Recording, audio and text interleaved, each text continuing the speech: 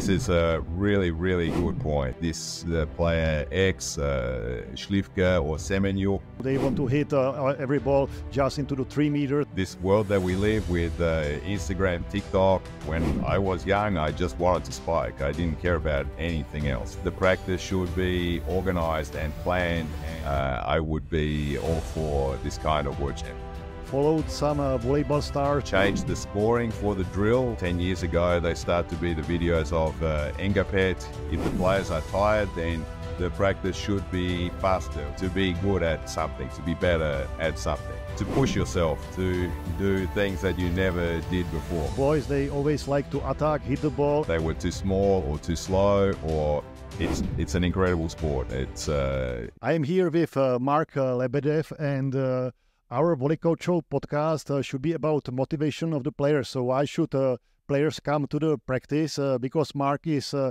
very active on uh, internet. He has his own website at home uh, on the court, and he wrote there in one post that make the players want to come to practice, and your job job is done 98%. So I would like to speak about this topic of the motivation of the players and could you please uh, tell us, uh, tell me more about uh, what should be the ideal motivation of the player to come to the practice from your perspective, and also if you can, from the perspective of the player? The, mostly I speak about the perspective of the coach, but uh, for me, the most important thing is that the player comes to practice because uh, they want to come to practice. So, for the coach's perspective, this means that the practice should be organized and planned, and uh, some uh, some parts of it are fun, some parts are learning. That the the people, uh, the players, at whatever age, uh, they feel good when they come to practice. They look forward uh, to those sessions. From the point of view of the players, uh, the, especially for young players, they should come to the practice first with the idea to learn to be good at something, to be better at something. This is a, a really big motivation, uh, and I think that the players have to focus uh, on this part. One other, one really big part is the is the social component. Uh, volleyball is a wonderful team game. Uh, it's the most team game in the world. You can't do anything uh, you know from your experience, uh, you can't do anything without your teammates, and there is more opportunities to interact with with people, with your friends, to make new friends uh, than in almost any other sport. And the to push yourself to do things that you never did before. Part of learning uh, to become a human being, part of developing as a person uh, is to push yourself to do things that you've never done before. So uh, I think these are three uh, really good things that uh, that young players can uh, can think about uh, when they're getting ready for their training. And do you think that as a coach you can really like persuade player to be motivated to come to your practice to make the practice fun, to make it uh, interesting for them because uh, when I am coaching, sometimes the girls, you know, uh, I see on their face that one day they have like a very good uh, interest in the practice, and other day, you know, they are a little bit like uh, not sleeping, but maybe tired uh, from the school. So this could be also like a good point for the coach to keep them motivated for every practice. It's a really difficult part of being the coach because, as you say, you never know which player is going to arrive. Is it the one that is tired? Is it the one that's excited? Uh, so you have to be able to uh, to make some changes in practice as you as you go. If the players are tired, then the practice should be faster with less breaks in between. If the players have a good focus, then you can make the drill, make the exercises slower. That is more about learning. And if uh, really nothing goes, uh, then there are lots of uh, fun games with volleyball over the net, kind of uh, games that the, the coach can use to uh, to create good atmosphere, to create good social conditions, and then maybe change to one learning drill or uh, one one physical one physical drill after that. And I see it also uh, because my son is playing uh, volleyball. He's now 17 years old, and I see that uh, the young players, especially boys, they always like to attack, hit the ball, and uh, serve, uh, jump serve. Do you think this this is this can take also part of the motivation for the players if you say that okay, this practice will be about defense, so they get uh, oh defense, I am not attacking. do you think that this can also influence their like motivation, the kind of the practice and the skill what they will do in the practice? Uh, most definitely. Uh, you remember when you were a young player, I'm sure, the things that, that you like to do. When I was young, I just wanted to spike. I didn't care about anything else. So one drill where I can spike 50 balls in a row was for me was perfect. So uh, to find the things that the players like to do, uh, some players, for a lot of players, they like to practice defense because it's really active. They are on the floor. They are doing crazy things. Um, so this kind of uh, this kind of exercise in between other exercises can increase the motivation. And uh, boys, especially, they also like to play. So any kind of competition, um, then this they will be motivated to uh, to prove they are the best, to to show themselves, to to beat their friends. So um, these are a couple of good ways to uh, to engage the players. And I think also that uh, one important part uh, part out of the training is to follow some uh, volleyball stars uh, and uh, to see them their attacking, uh, blocking, serving, defending, and passing on internet, on Instagram, on TikTok. do you also think that this is important that the players should follow these stars to see themselves in their body in few years? This is a really, really good point. That one this the way that people get engaged and excited about volleyball is uh, from stars, from seeing the local team, from having one player that they follow, and with this type of uh, with this world that we live with uh, Instagram, TikTok, uh, we can see all of these uh, all of all of these uh, players that and the the amazing things that they do, and for this. this is a really wonderful opportunity for players and you know you can see the whatever 10 years ago they start to be the videos of uh, Ngapeth um, doing things that nobody ever did before. And now I'm sure you go to every 17 year old uh, under 17 gym and they are doing the things that uh, 10 years ago nobody ever imagined. So this is how to excite players but this is also how to grow the game. The trying to football players trying to be Messi or Ronaldo. Um, this is this grows football and and uh, finding the stars and following the stars of volleyball uh, has the same purpose for for us. And uh, even if you are a coach of uh, professional teams and national teams and players who are earning money, do you also prepare for them some kind of like a not motivational video or some uh, special things uh, for them to motivate them, uh, maybe even uh, before the important match? I can sometimes do that. Uh, I talk with my players about the things they see on TV, the players that they play.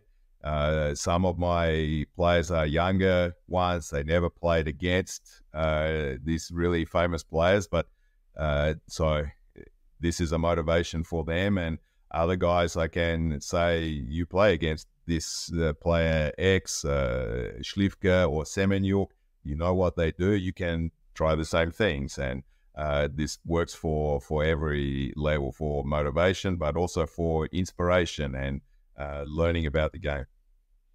And do you think that also some uh, players are just uh, coming to the practice over motivated? They they want to do something uh, too much, and you have to calm them down because you know they want to hit uh, uh, every ball just into the three meters, and in the game, you know, it's not possible.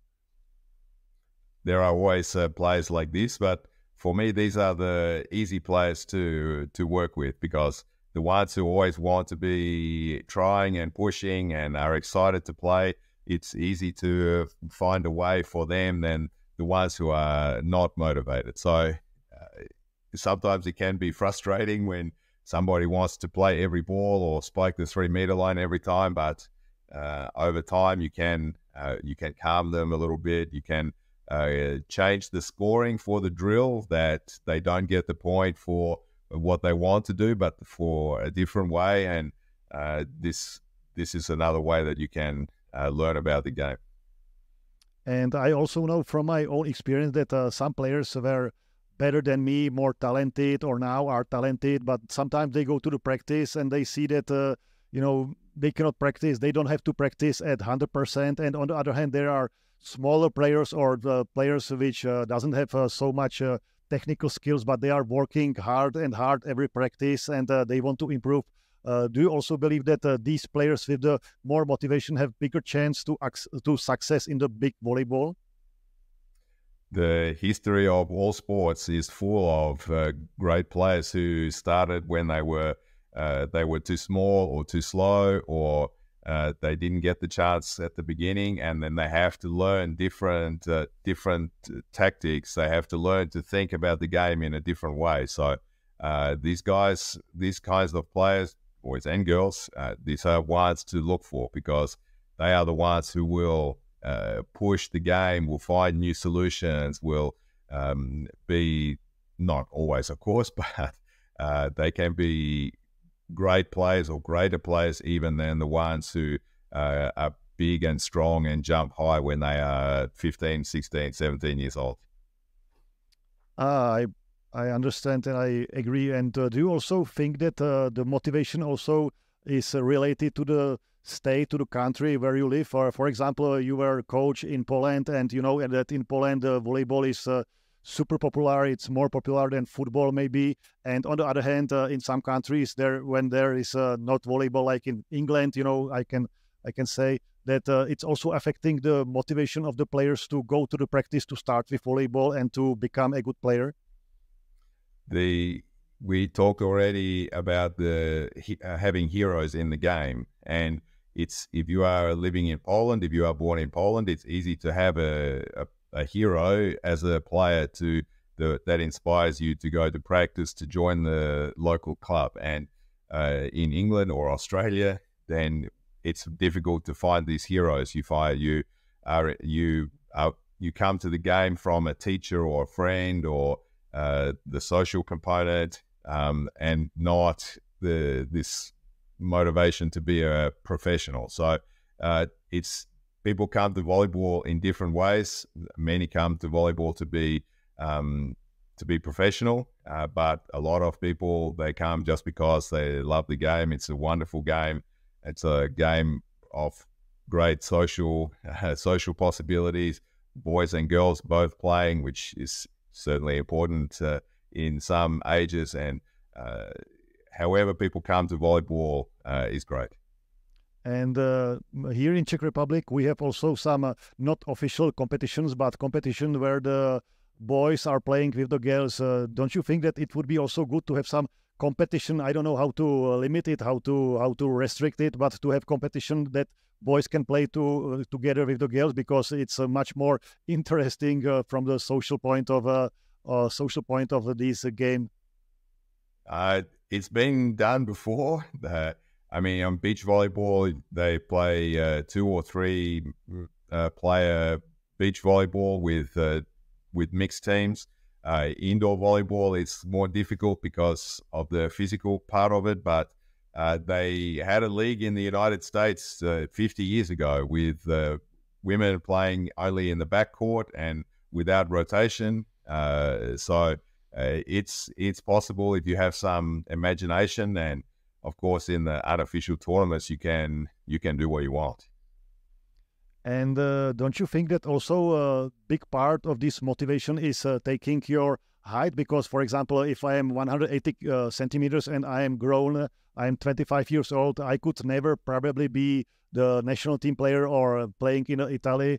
Uh, don't you think also that uh, there could be some competitions and, uh, for these uh, players uh, under some uh, under some height, so that this could also help them to to play more volleyball, and they could even be like world championships for these for this for these competitions? This could be a, a, great idea. The World Championships for less than one meter eighty-five, or for women less than one meter seventy-five, something like this. Um, uh, any opportunity uh, to to play volleyball, to uh, is is a really good idea, and um, you have to be careful then if you have shoes. Because um, I'm 184.7 sometimes and 85.1 maybe. So, uh, how you measure these things is important, but uh, I would be all for this kind of world championship. And uh, the final question is uh, about the uh, imagine that FIVB World Volleyball Federation is doing a very good job in my eyes for volleyball. There is a volleyball world TV. The the events are well organized. There is a lot of public. But imagine that if you could do something uh, and you had uh, unlimited resources, uh, money, people, everything, what would you do to improve volleyball to to grow even more in the future? Oh wow, uh, I would. I would like to take volleyball to places that it's not popular. Uh, in uh, in Italy, in Poland, in uh, in Japan, we we know in Brazil, we know what what we can expect there.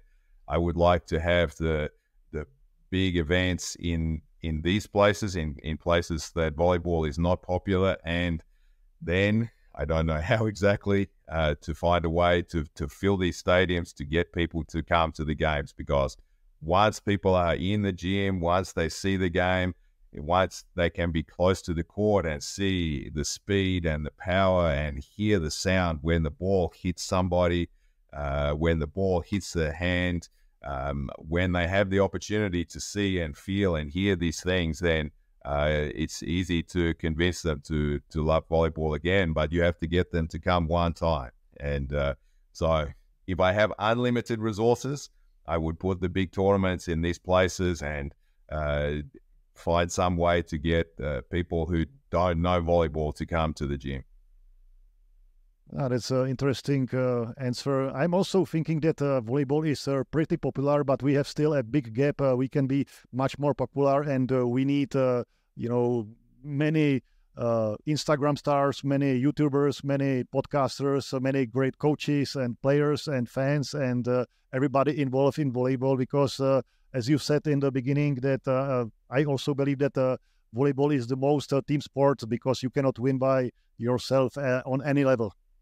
No, I, I agree. It's uh, uh, it's it's an incredible sport. It's uh, it you and me.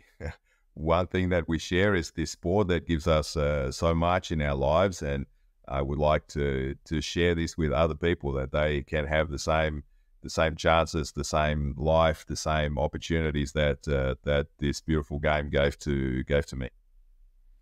Okay, so thank you, Mark, uh, for your um, uh, for your answers, for your thoughts and uh, opinions. I hope that uh, our listeners uh, will uh, be at least more, little bit more motivated after our podcast, and that more players will play volleyball, and volleyball will get better, not only in our eyes but in eyes on um, of many players. Thank you for your time, and good luck in the season. My pleasure, and good luck with with this podcast and your club.